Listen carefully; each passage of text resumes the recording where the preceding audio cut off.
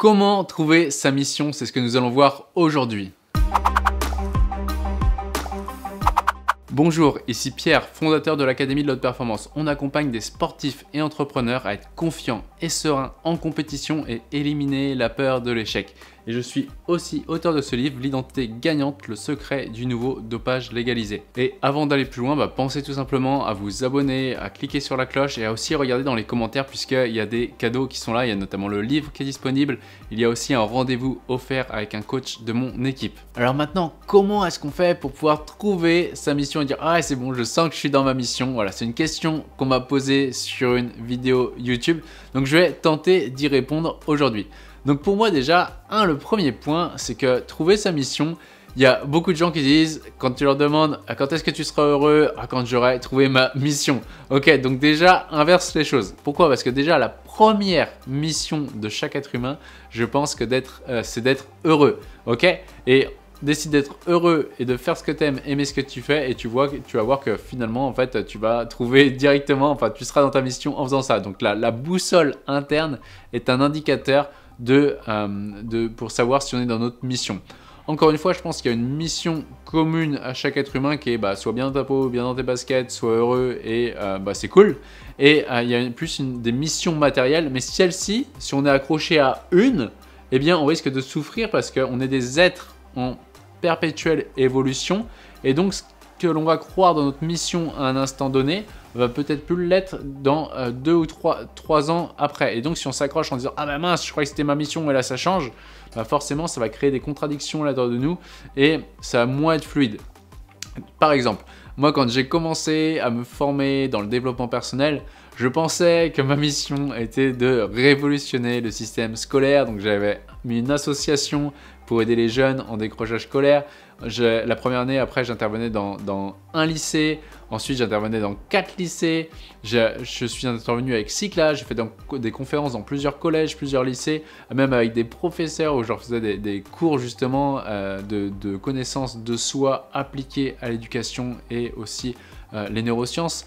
Bref, j'ai fait tout ça et je pensais vraiment que c'était ma mission. Et puis un jour, en fait, je me suis rendu compte que bah, difficile d'avoir de l'impact à long terme ici et que finalement, eh bien, la meilleure façon pour moi euh, d'avoir de l'impact, c'était de créer mon entreprise et de pouvoir aider des sportifs. Et donc, euh, et donc finalement, une mission que je croyais qui était l'éducation, bah, aujourd'hui, c'est cette mission-là, c'est d'aider des sportifs. Mais peut-être que cette mission-là, dans 4 ans, 5 ans, euh, même peut-être moins d'ailleurs, ou plus, eh bien changera et c'est ok.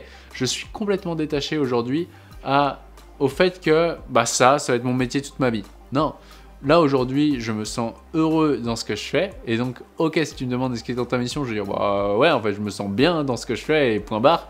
Euh, je, je, me pose même pas la question d'être dans ma mission ou pas, je le fais parce que j'aime le faire et puis euh, quand je regarde toutes les activités sur Terre disponibles, je me dis tiens, bah, c'est celle-ci qui m'inspire le plus, donc euh, je vais choisir d'aller dans cette direction. Mais je me pose pas la question est-ce que je suis dans ma mission ou pas. Je m'en fiche un peu. Et en tout cas, je suis prêt à détacher ça pour aller vers autre chose vers lequel je me sentirais appelé ou guidé plus tard. Donc c'est important. Ça c'est le premier point. Chaque mission, c'est d'abord d'être heureux et ensuite, dès qu'on fait ce qu'on aime, on aime ce qu'on fait, on est naturellement dedans. Ensuite, deux, c'est vraiment, moi aujourd'hui, je suis vraiment attentif à si c'est fluide, si c'est aligné, si ça vient vers moi en même temps que je vais vers. C'est-à-dire qu'une fois qu'on peut se dire, tiens, là, je me sens bien, je me sens dans ma mission, on a l'impression que les choses viennent à nous en même temps qu'on va vers. On va attirer les personnes, situations, circonstances qui correspondent à, notre objectif et donc on voit qu'on est en train d'évoluer.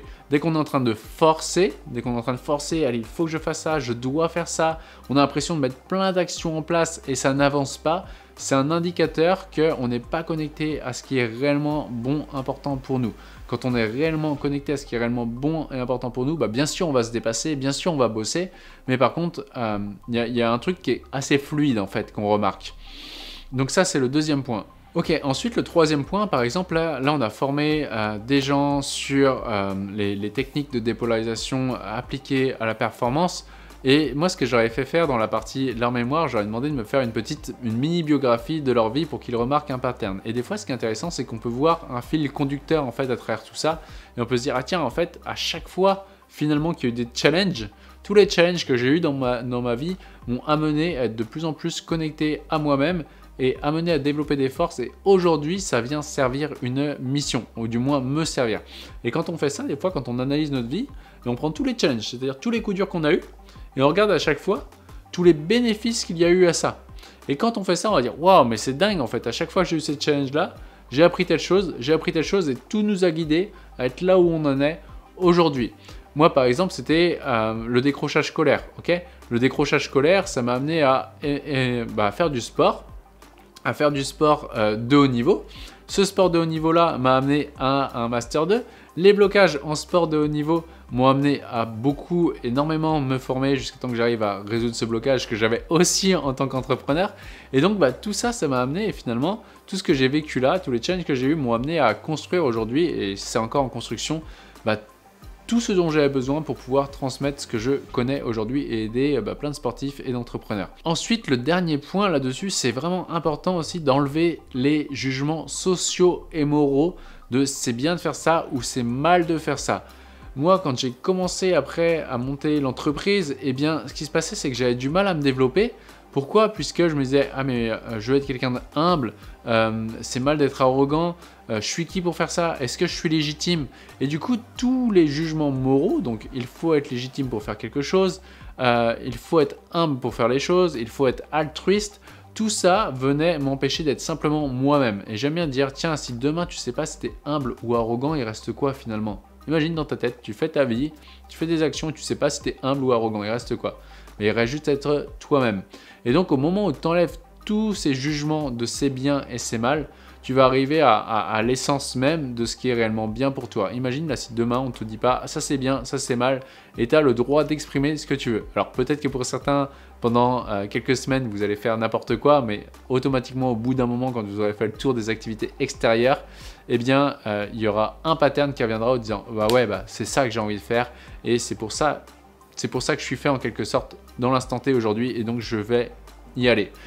Et j'allais dire le dernier point aussi pour reconnaître notre mission, c'est de voir que tant qu'on sera sur Terre, avec les deux pieds au sol, on sera dans le monde de dualité, jour, nuit, chaud, froid, douleur, plaisir.